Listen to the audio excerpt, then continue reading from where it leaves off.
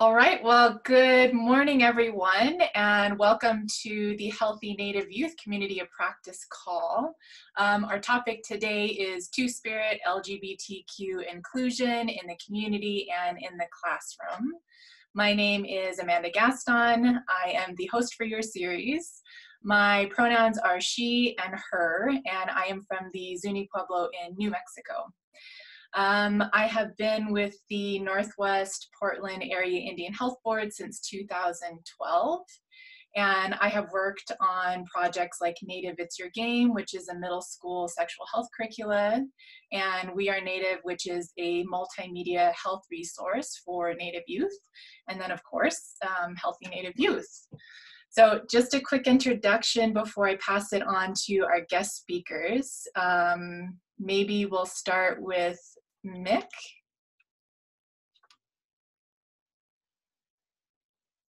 Yeah. There we go. Hi, uh, my name is Mick Rose. I am from the Diné, Omaha, and Pawnee tribes. My pronouns are they, them. I work at the Native American Youth and Family Center in Portland, Oregon, um, and specifically within um, violence prevention for the Two Spirit community. Thank you. Um, Bridget, do you want to introduce yourself next?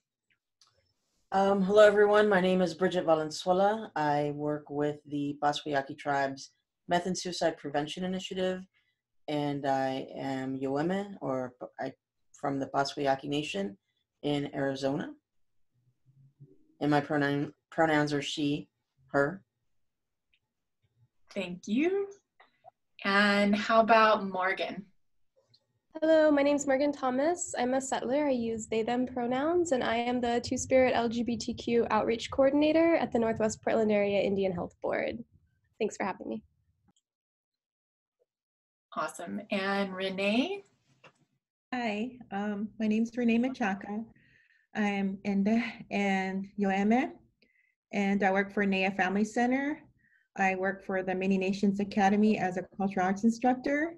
Thank you for having me. Oh, my pronouns, they, them. awesome. See, my arrow buttons never work. I, I can never figure this out. All right, well, again, thank you all for being on the call. It's really nice to see some familiar names and then uh, looks like maybe a couple new names on here too. So just a quick overview of what we'll be covering. Um, we've broken down what Two-Spirit LGBTQ inclusion might look like based off of your community's readiness level. And we're going to start with a little background before we get into the different levels of readiness. Um, so level one, just getting started. Level two, we're getting there.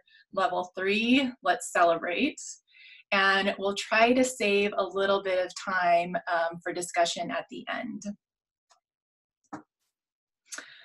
So welcome again, everyone. Um, we love to know who is on the call. So if you would, um, please type in your name and your role, as well as your email address into the chat box. And you can find the chat box on your toolbar underneath the More tab. And if you want to send your email privately to me, that's cool too. Um, but we'll send updates um, for the community of practice reminders as well as the resources um, to folks too. And we love to have side conversations. So to get a conversation going, um, just curious how you are gauging your level of readiness in your community. If you want to start thinking about that and we can start that conversation on the side. And just to let folks know that if you are new to the session or you maybe missed previous sessions, you can go to the Healthy Native Youth website under the Resources and Support tab to find the previously recorded sessions as well as uh, the handouts there. And while people are doing that, um, I'll also let folks know that we will save the chat feed. So if there are questions that we don't get to during the call, we'll make sure to follow up uh, with folks afterwards if you provide your email address. So I think we'll continue that conversation, and for the sake of time, we will uh, get started and we will pass it off to Mick. Hi, everybody. Um, again, my name is Mick Rose. I work at the Native American Youth and Family Center, um, specifically within violence prevention for the Two Spirit Indigenous queer community. And something that um, we really wanted to think about is how to um, support how how to help our youth find support and acceptance within community. And there's a couple of points that i really want to hit which is how to become a good accomplice and a health educator um, how to center our youth's hierarchy of needs and what it might look like for someone in the two spirit lgbt community for all of those things to happen.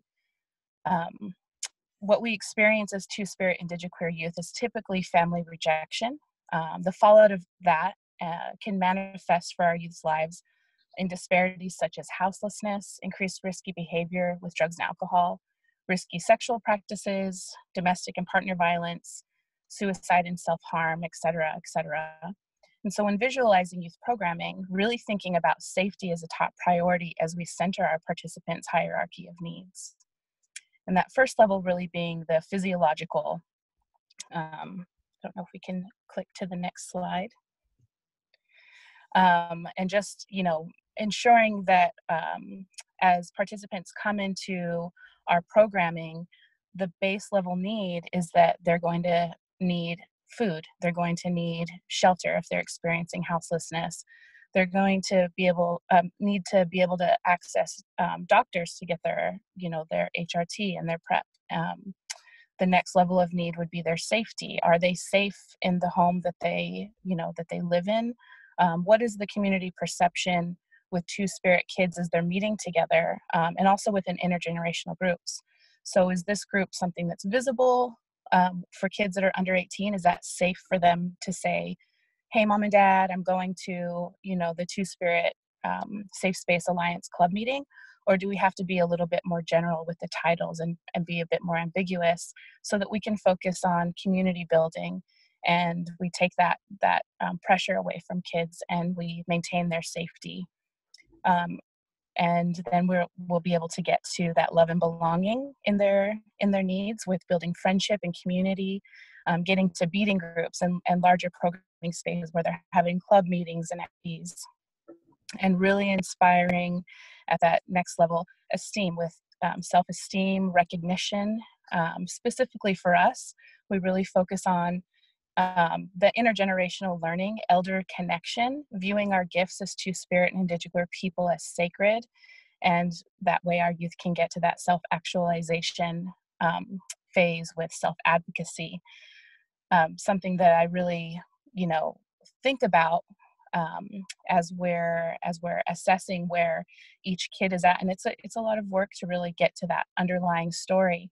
But just to kind of hit home to to how important that is, um, we have several youth in our programming and that are um, houseless and one specifically that came to NAYA about a year and a half ago was experiencing life in and out of a shelter and really not stable in lots of lots of ways. Um, so the first thing that we did was set them up with a an housing advocate, and it took quite a while to get them to the point where they were in a group home, um, moving out of that shelter life into a group home, and um, finding a pathway to employment, helping them access insurance so they can you know they can access their um, hormone replacement um, therapy medication and just feeling stable in that for you know at least six months and um, before they actually started to show up regularly for groups. Every time they came welcoming them in introducing them to new to new community members so that they really felt connected um, that, that they weren't just only connecting with one person in order to get their needs met that we were also just trying to build relationships in you know a broader sense um, and having them feel really comfortable and at home in our space and um, safe there and knowing that that we they were in a safe place and um, once they really started to have all of those needs met and started feeling safe within our programming, they started coming to groups, as I said. Um, and this past summer, we were able to go to the Montana Two Spirit Society gathering, and um, that happens every year. And then on top of that, the International Two Spirit Gathering was happening in the same space um, which was an incredible experience because they were able to connect to other folks their age, but also to elders in their community from their own tribal communities. And that's pretty rare for a lot of Two Spirit kids. Like, you know, if they're um, feeling unsafe uh, on the reservation where they live, they might go to a city and then try to find connection there and not meet a lot of other people um, that they really share a similar story with. But this youth um, in particular met folks from their home in Oklahoma. They stayed connected over these past seven months. And in that time, um, you know, I really saw this youth stepping into their community role. Um, something that they expressed they hadn't been a part of or really thought of since they left home because they didn't really have community. And uh, more than just connecting with youth their age, they really connected with our younger kids, with our elders, they really um, stepped into um, viewing their own gifts as sacred. Um, and while we were while we were at the gathering last summer, um, you could really see that they were always out and about helping people, taking food to elders, helping kids with um, art projects or within the workshops that we were at. And they were recognized by that organizing committee and given the Youth Spirit Award for the way that they built community in that space which really you know took them aback and they were shocked by but we all saw it you know their gifts are were evident and um, they were finally able to feel free enough to express those. So last weekend actually we went to san francisco for the two spirit powwow and while there they were able to connect with their oklahoma family that they met at the gathering last summer.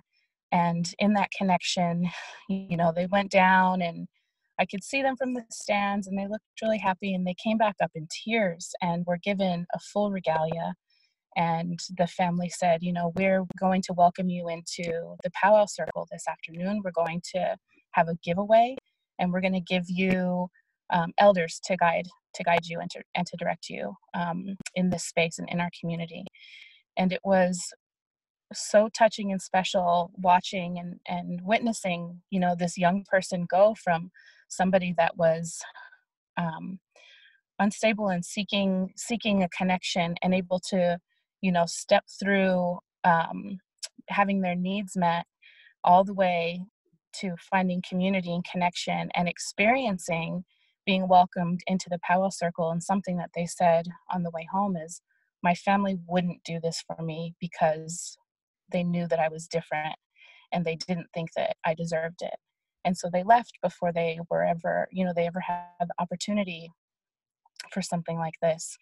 And it's it's rare and it's special and to to know that you've built programming in a way that your youth can connect not just to themselves but to culture and community is really special. And so I just wanted to share that as an example of um, really meeting our youth's needs as they as we're trying to get them to this space of self-actualization um, in about a month this young person is going to be on a youth panel for the city of portland on the trans day of visibility and speaking to our city about you know their experience as a young person navigating houselessness and how they found their path which feels very significant from where they were a year and a half ago um, that's amazing. Sorry. yeah.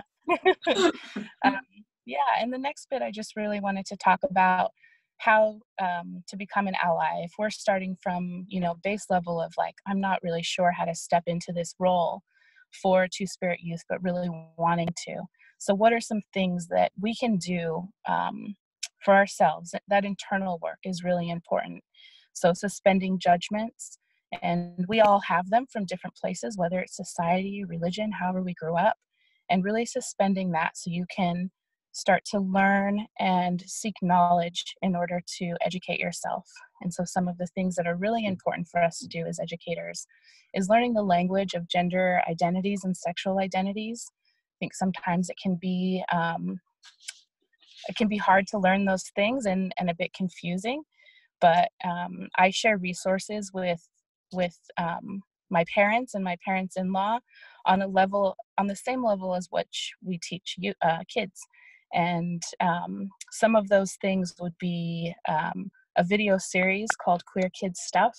I think we've listed it later on, but um, that's something that you know just getting that base level of language is so important because a lot of isolated you know kids that are isolated in small communities may not even know the language and so they don't know how to identify themselves um, finding stories of um, individuals to build your empathy and your compassion so there are lots of documentary series out there um, the health board put one together called there's heart here which is quite touching and again you know um, I was in that documentary with another um, person, Lane.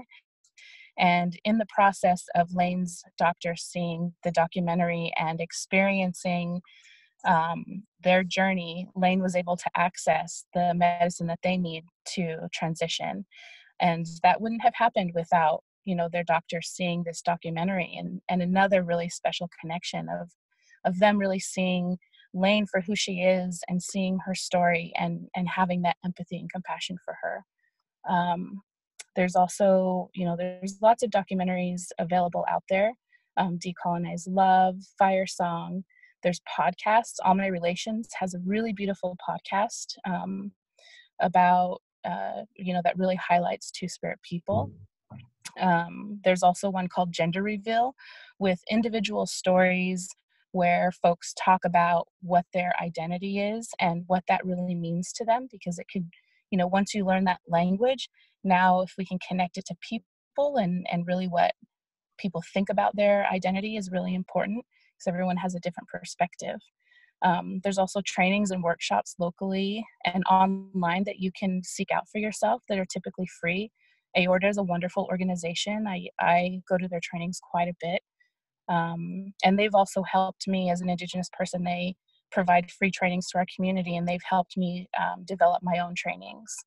Um, the Montana Two Spirit Society has a wonderful training that came in and educated our entire community and has really helped us move the work forward, as well as the Family Acceptance Project. So, those are some internal things that you can do for yourself. And then as you move through that, there's the external work. There is becoming an accomplice for systemic change. Like how do we what do we then do with the responsibility of that information? So um, some examples are attending a PFLAG meeting getting to know other people that are also supporting two spirit indigenous queer folks. Um, there are there's a texting resource through the health board which is really wonderful. Um, just a funny side note is that typically when i'm at family gatherings i will take people's phones and text ally to the number so that my my relatives can learn this information. And you know at, at, first my mom was like what are i'm getting all these text messages. And i said well did you click on the links? And my mom is starting to learn more. She is supportive. She is an ally but this is a way to help her really step into that accomplice role and help me navigate my entire family system with information. Um, there's that queer kids video series which is quite gorgeous. It's like a Sesame Street um, for the LGBTQ community and really teaching language, um, creating visibility in safer spaces, um, interrupting homophobia and transphobia, very important for our community. Using uh, pronouns proactively allows folks that are non binary, like myself, or they're trans, um, feel safe to also use our pronouns and know that our pronouns will be respected. Um, and you know just the systemic change piece there's a tribal equity toolkit which is a really beautiful toolkit for tribal communities specifically because when we're doing this work of systemic change it's not just our organization but it it's also um, could also be our um, local sovereign governments that we also um, want to do this work in. And the indigenizing love toolkit another really wonderful one that uh, my staff and I have gone through together in order for us to teach it to our young folks. So I just wanted to highlight those things. Um, thank you. Sorry, I don't mean to be pushing. I feel like I'm advancing the slides on you. Um, but just real quick, um, we talked about community readiness. Um, so we have, if you've left your email address, um, we can get this out to folks.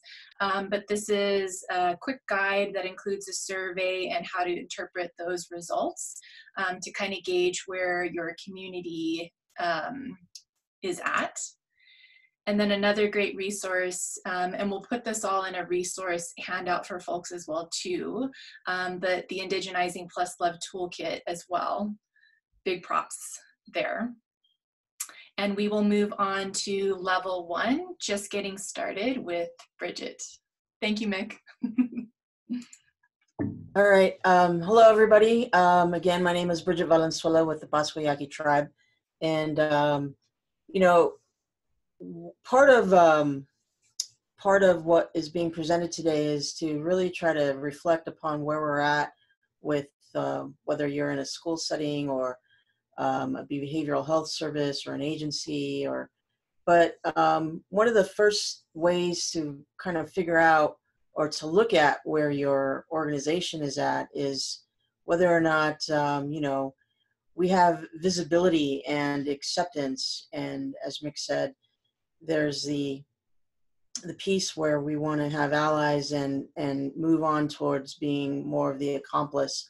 But um, if you find that you have very little or none of the posters or pins or any of that to help support um, and and move towards being um, having acceptance that that's key where there's different resources um, that you can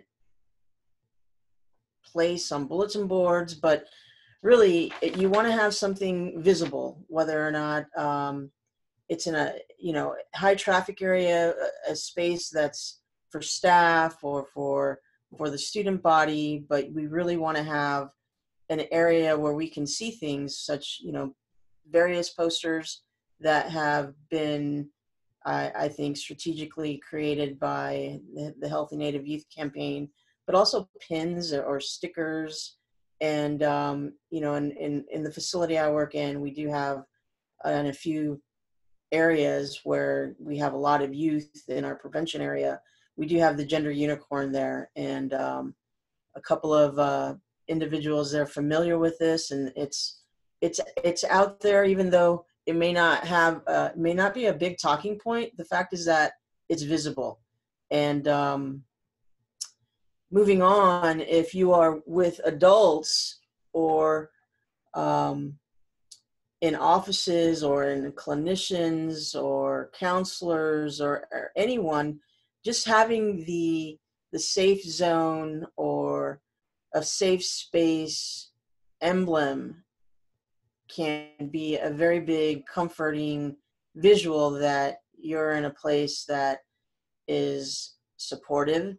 You're um, not necessarily um, at the level where you're the accomplice level but you can be an ally and have and be a little bit you know silent about it not not necessarily um, depending on the environment that you're in, but just there are allies there that that are kind of they work behind the scenes. Um, they're advocates and they're aware, and it may be tough to navigate in in, in various environments, but those those silent allies are are pieces that we can accumulate to where eventually we can move beyond this level one um, stage. And uh, if we take a look at, along with uh, the, the posters on this next slide, there's a really nice, this, I remember seeing this particular poster um, at one of the, at a, at a conference that I had attended my first year working within behavioral health and prevention and, and youth services. And um, you know, the LGBTQ loved and accepted poster that Thrive put, puts out. Those are free materials. Um, I think on another slide, uh, Morgan, we, we've got an area where you can order these, but for this level one phase, you know, getting information out into the hands of individuals is, is very important. Um, having any sort of training um, that is possible with cultural uh, humility, uh, cultural humility trainings, cultural competency, um, diversity, uh, having guest speakers like individuals from the community, past students that have navigated the waters that their that students may find themselves in, and, and two spirit elders, and it's really something that there's there's definitely um, a, a need for that, but just having trainings for not just the youth, but just also for the staff involved, for those individuals, the the the adults, the individuals that are there guiding the youth within the different programs or scenarios or environments that we're at. And um, I think the uh, next slide shows some of the visuals that can be displayed um, to help build up to being able to provide more services and and, and again this this particular level particular level is where you might find yourself in an area that you know there's a need for services there's a need for visibility but it may not be there. Not not just yet. And it's kind of like you know we want to start going down that road to where we can help all youth. And um, just having these visible in areas that, that will be seen is is part of that getting to that. And um, the um, trans student educational resources uh, program organization they they have some amazing infographics, and they're going to be listed in the resource uh, book, but or the resource handout later.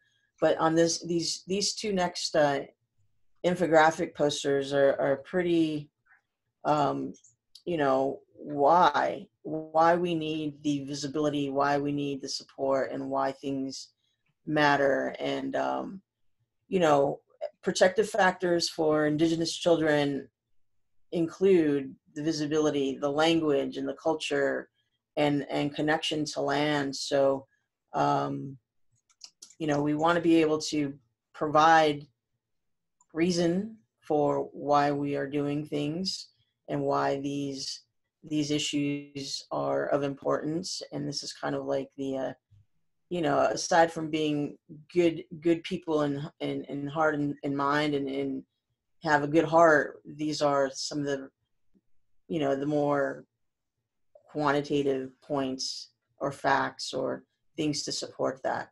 And um, i think uh, i think there's going to be several other resources listed in the handout regarding the um, trans student union trans student educational resources thank you bridget. And you know i just wanted to make one quick mention uh, before.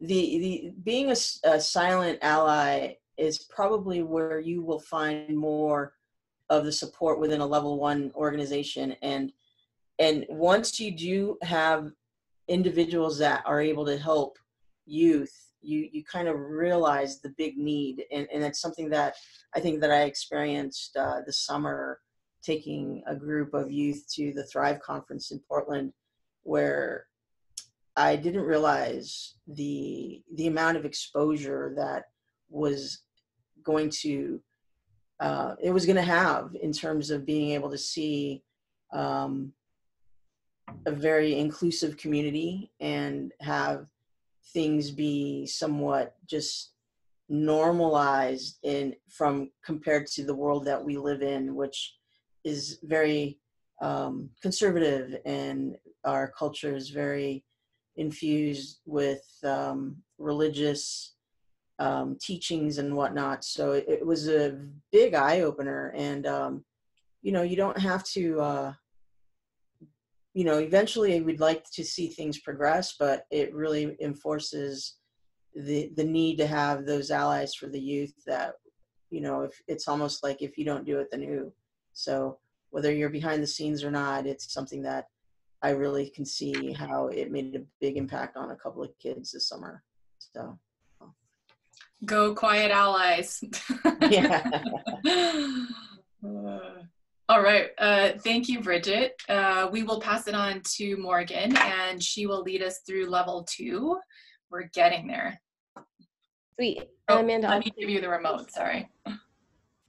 Um, and I'll answer while Amanda's giving me control over her screen. Um, it looks like we have a question from Katie about the best media or gear for allies. Um, so I think that the pronoun buttons and pins that were photo uh, that there was a photograph of a few slides ago are great for allies to wear. Um, and those are available from the Northwest Portland Area Indian Health Board for free. Um, just send me an email. My email is right there on the slide and will also be on the resource sheet. And we also have pamphlets and rack cards that are ally specific if you're looking for more educational materials to share with other allies. Um, and so again, all of that stuff is available for you free of charge from the board. Um, so I think Bridget did a great job of walking us through um, how to move a community from a place where there's very little Two-Spirit and LGBTQ visibility to a place where um, people are more visible, where we're seeing posters on the walls, where we're having a few initial trainings about Two-Spirit and LGBTQ identities. Um, and so I am now going to walk us through sort of the next level. So level two, um, this is a community in which there is already visibility. Um, and so it's clear that there are youth and adults who both identify as Two Spirit LGBTQ. And it's also clear that there are allies. Um, so young people who are Two Spirit or LGBTQ in these communities know what adults to turn to if they need one on one support or mentoring or if they have questions in these communities there have already been a few trainings about like an introduction to sexual orientation and gender identity um, so people have the basic language that they need to start having these conversations um, and also if something happens in a community like this or a school that's at this level uh, that is unaffirming or problematic, like if something's said that's transphobic or homophobic, um, there are adults present who feel like they have the knowledge and skills to step in and correct that behavior. So youth have uh, adult allies that can help them in that in that way. When I think about things that are still needed in a level two community, I think centrally about connection and about infrastructural support. Uh, when I say connection, I mean that youth in these communities might still feel like they are the only person in their school who is Two Spirit or LGBTQ, or um, they might have more complicated questions about medical and social transition or healthy sexuality that they don't quite know who to ask.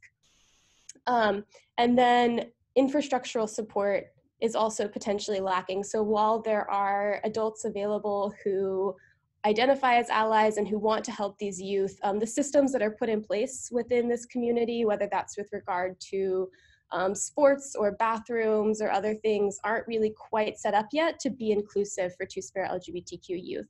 And so I see this centrally as a tension between pride on the one hand, visibility on the one hand, and still within infrastructures and systems, a sort of focus on a binary idea about gender, um, such that that pride and inclusivity and visibility can't really disseminate itself across the community as a whole. So we'll talk now about a few really practical strategies that can move a community from this place where uh, we're getting there up to the level three celebrating community that Renee will talk about after I'm done.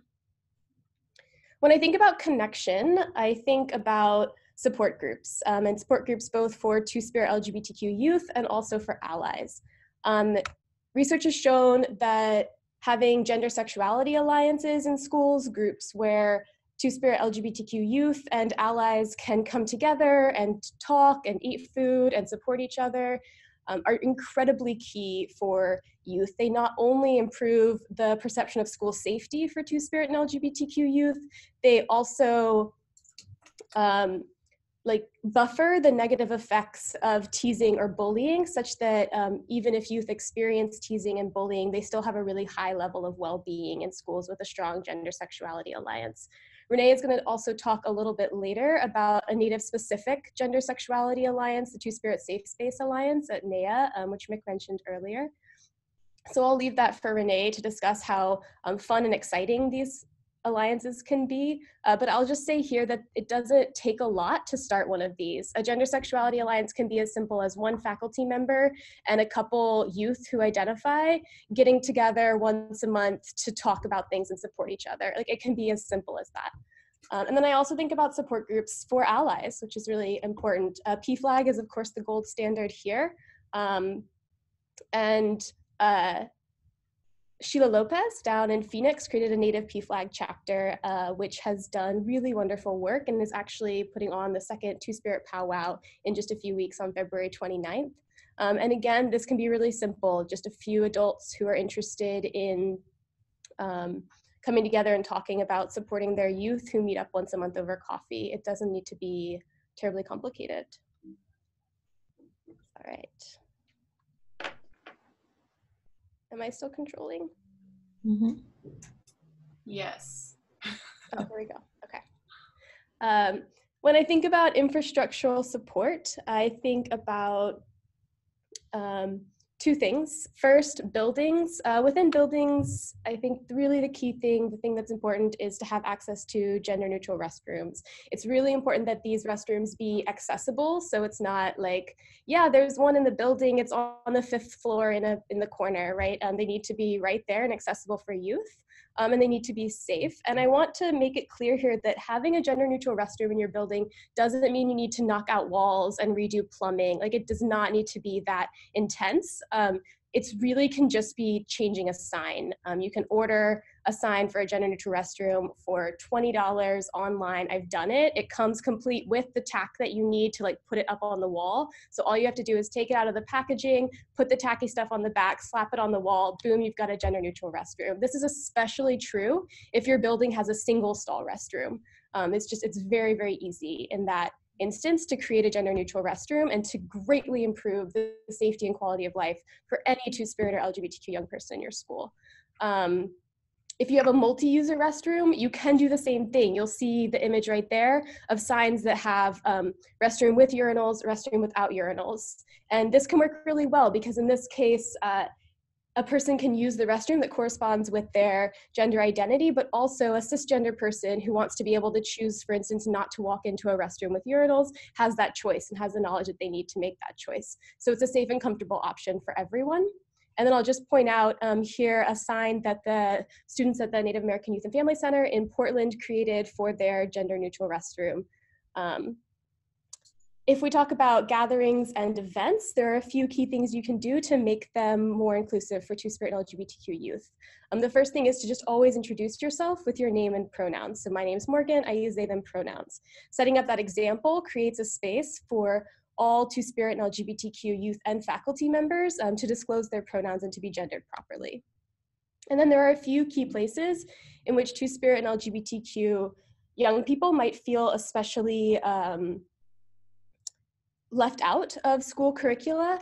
And the first of those is uh, within sexual education curricula. Um, I wish that I had a gold star inclusive curriculum that I could offer you to improve this. I think that many of the Healthy Native Youth curricula do have at least certain sections that are inclusive for Two-Spirit and LGBTQ individuals, so those can be a good option. There's also a SMART curriculum that is specific for cis young men who are having sex with other cis young men. Um, so that can be a good curriculum specifically for that population. Um, and Planned Parenthood also has a SOGI curriculum called Included um, that does a decent job of creating uh, space for Two-Spirit LGBTQ identities within sex education. It's just really, really important that Two-Spirit LGBTQ young people have curricula that cause them to feel affirmed and to know what to do to have um, safe sex. And then last, within sports, um, I think that this is a place where often Two-Spirit LGBTQ individuals, especially those with minority gender identities, don't feel particularly able to um, be included. So to the extent that your um, sports activities and events can be co-ed or gender neutral, that is really, really wonderful. And if they can't be, just ensuring that all students feel safe and comfortable joining whichever team aligns with their gender identity is really, really important. All right. Um, if you want, whoops, I went too far. Um, you can text LGBTQ2S to 97779 uh, to stay updated with the work that the board is doing um, and also just for more opportunities. Thank you. Thank you, Morgan. and I'm sorry, I think I used a wrong pronoun on you. All good. We're practicing. we are. Okay, so we will pass it on to Renee, who will take us through level three. Let's celebrate. Yay! Hi, everyone. so, how to be supportive, welcoming, and an ally within your agency and school. So, creating awareness and safe spaces for youth and families. And as you can see here, um, when you first enter the NAYA Family Center, I created um, this visual so that when families and youth came in, you can see prior to colonization and where we're at now, where our two spirit LGBTQ peoples are at, trans, excuse me, people are at. So we, um, I created this last year um, to bring awareness and to make it feel more welcoming for our students and youth. We have 75 students in our Many Nations Academy. Um, out of the 75, I have about 20 students that identify. So um, when we created these visuals, uh, we noticed that more and more youth are coming out to us as staff and to youth advocates. And our youngest is nine years old that we serve. So um, just to let you go, let you guys all know how important it is to have um, visuals within your agencies, within your schools, your classrooms, to create that awareness, that comfort, but also those resources uh, for our youth. You can go ahead and change the, the slide now. Um, here you see um, within the Many Nations Academy School at NAYA Family Center, we have instructors. We have six instructors, um, including myself. And within our classrooms, we utilize a lot of our uh, resources that we um, gather from other organizations or within ourselves, you know, within our organizations, and to provide um, to provide, you know, prevention work and also to uh, promote um, other students to feel comfortable to come out if they need to or if they need resources or families. So you can see um, the two classrooms here and then the third the third picture is our staff room. So not only do the faculties have their room um, with visuals and um, with information, the staff as well. So um, part of, you can go ahead and slide to the next slide. Okay, and here you see um, several of our Two Spirit youth um, at a conference here, tabling. So um, part of our um, mission was to provide um, safe spaces for our youth um, and opportunities. Uh, we started engaging our youth in exposing them to GSA conferences within the Portland community, also um, inviting other um, ally healthcare groups and organizations to speak and provide workshops within our student leadership club, the Two Spirit Safe Space Alliance. We also um, encourage um, a lot of the community um, organizations to allow um, other LGBTQ groups to come and do tabling. Uh, we come in as well uh, to provide resources for families, um, especially during the back to school events that are held within other schools or agencies. It's important that families and youth know that there's resources out there for them, whether it's, you know, engaging in student leadership, healthcare, um, where do I go for um, you know clothing resources? It's important to have those organizations table at your events. Um, I would encourage, you know, maybe meeting with the powwow um, committee and asking them, you know, would it be okay if we can table or provide resources for our youth and for our families?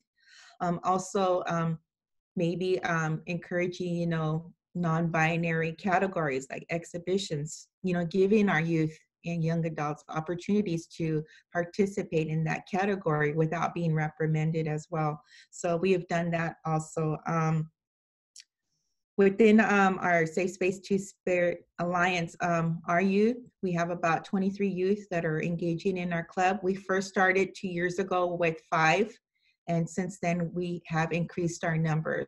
I've noticed that a lot of the kids are coming to school consecutively. Their grades have increased and they're getting the support they need. Um, I have um, also parents asking for information, and that's, you know, that shows progress there on how they can support their child. So, again, uh, you know, asking you know school administration or asking your you know staff you know management is it possible that we can have an all staff training because we serve two spirit youth here and um, how do i go about working with our youth? You know some of our staff are still uncomfortable using pronouns but having these all staff trainings and faculty trainings does you know does help you know working with youth and with our families and kids. So you know it doesn't hurt to invite people from the montana two spirit society to come in and do an hour workshop with you know the staff and faculty. Um, i'm going to let mick go ahead and take over. You can go ahead and go to the next slide as well oh yeah that we provided t-shirts for the kids too so um, these are some of the activities um, that were created for our youth and our community so that you know we see a healthy community building and engagement sessions here with our kids. So the Safe Space Alliance Two Spirit, that logo there, you see that rainbow logo with the, the eagle. The kids came up with that logo, our students. And so I work around our students' schedule. As you can see, I don't work around my schedule because I want them to be able to participate and have access to these meetings. So I make sure that I work with the school um, administration so that the kids have access and I provide, you know, lunches and meals for them. And for our Two Spirit prom, that prom was open not only to our native community, but to the whole community in Portland. So we had about 350 kids that participated. And we worked with other organizations for like a co-sponsorship. So you might not have a budget, but other people might have money where they can co-sponsor these events for your community or for your children. So always look out to reaching out to other groups for support as well. And then the planning itself, that was all student led. So the kids decided on their theme, they decided what they wanted to eat, you know, they decided on the DJ and the photography. So all that was student led as well. You can go to the next slide. And then engaging in having our kids participate in uh, community events, civic events as well. So here, this is last year at Pride, Portland Pride. Some of the teachers were there, including our executive director, Paul was there. And um, you see some of our NAYA volunteers as well with our youth, um, getting the kids engaged. And we also tabled at Pride, and that's how we're able to bring awareness, but also reach out to other community members that just moved here to Portland and have no idea where to go for resources and seeing our visibility they were able to approach us and we were able to engage with them and then give them those resources. So all the participants from pride that came to our table are now getting resources through NAYA family center. So you can go to the next slide. And that's it. So thank you guys and i think mick's gonna have add on to that as well.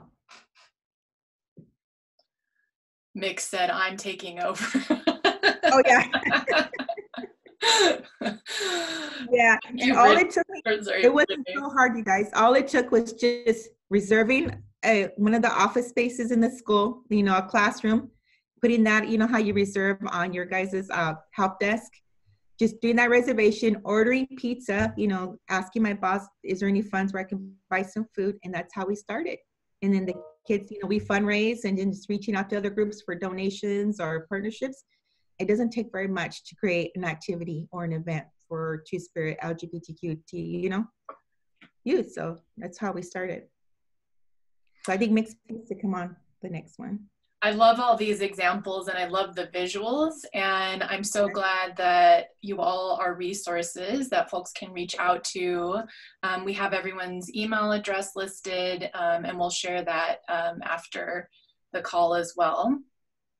Um, but just to um, let folks know, we're putting together a resource document. So this little snapshot here, we've still got to fill a few spaces in here.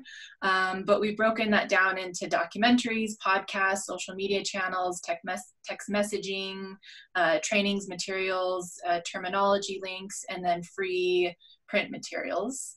Um, so we'll send that out after the discussion. But we have a few minutes if anybody would like to unmute their line or if you would like to use the chat box um, to open up a conversation.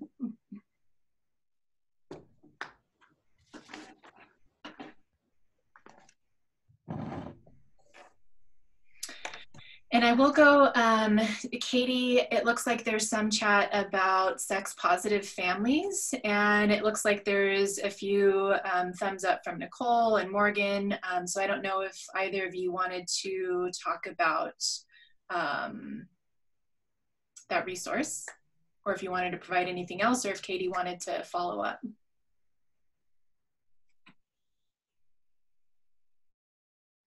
share a little bit about uh, sex positive families. So, uh, this is Nicole, everyone, and uh, I work really closely with Melissa, who is the founder and, and the person uh, behind Sex Positive Families.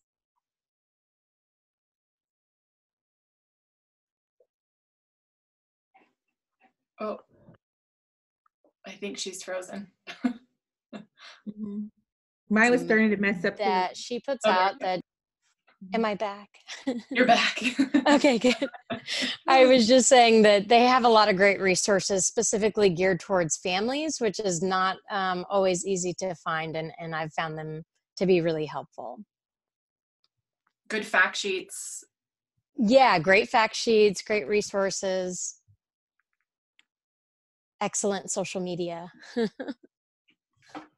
Awesome. And in that resource doc, um, Mick has a lot of really great like Instagram and lots of social media channels to share too. So we'll share that with folks as well. Okay, well, if you're thinking of questions, oh, uh, Katie, yes, you can unmute your line. And I'll find you too. There we go. I think you're unmuted. Okay, hi, thank you, everyone. I'm curious, I'm um, have the opportunity to bring some of these materials to other groups that I work with in Oregon to trainings and presentations. And I would really value input around how to present the materials to folks who are probably on a wide spectrum of familiarity with these topics in a way that um, is most likely to be engaging for where they're at. Um, and these would be generally folks working um, with young people that I work in the field of early psychosis intervention. Um, so they're working with youth already, um, but I'm, I think that this area is, I'm sure, uh, room for growth and I wanna present it in the best way possible um, to get us going. Thank you. Yeah, I can jump in and then I hope others will jump in as well. Um, Katie, I think that if you're able to sort of uh, stratify the different communities into one of these sort of levels of readiness that we've discussed, that can really help you think about how to present the resources. Um, if you are working with one presentation and you feel like your audience has a wide variety of backgrounds and context, um, I think in that case, uh, for me, the most effective way to pre- present these resources has been to begin with, uh, for instance, there's Heart Here, the documentary that Nick mentioned, or another resource that is really story based and narrative based. Um, and I think that that tends to elicit. Uh, motivation, sympathy, and empathy on the part of the audience, uh, which gets everyone at least on some level of uh, the same page. And then I think that, at least with regard to the resources for allies and providers from the board, um, those are designed to be accessible for people who don't have any background in um, like Two Spirit LGBTQ uh, health care or um, allyship. And so they, they should be able to access those things and then also to go more deeply into them if they need. Um, and then just one thing is I would suggest not overwhelming folks with terminology right off the bat. Um, just from my experience, that has tended to frustrate and um, potentially turn people away. That's my two cents. Thanks so much. Yeah. And I think to speak to that, Mick and I chatted a little bit beforehand, and I think um, to Morgan's point, interweaving those personal stories throughout really is what we tried to do here as well. But I think that has an impact on folks and it makes the content more accessible. Um, that's my two cents. Can I say something, Amanda? Yeah. Like when I have like SMYRC come in and facilitate some talking sessions or workshops with the kids, they usually bring visuals or like brochures or information and I just house those up front when the community comes in through our doors because we do provide social services as well. So just having them right there up front where people can access them and then having them within, you know, our classrooms and the school office, you know, just having it there where parents can pick one up or students, you know, they can be discreetly too. You know, some people might want to do it, you know, discreetly. So just having it out there for them too.